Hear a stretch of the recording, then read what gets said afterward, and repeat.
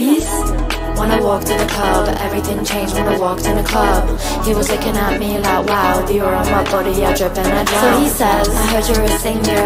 I live in a penthouse, it's on the east side. I can tell what he implied. I don't trust my decisions I make after midnight. Laugh, that's like, keep call his new bitch mainstream.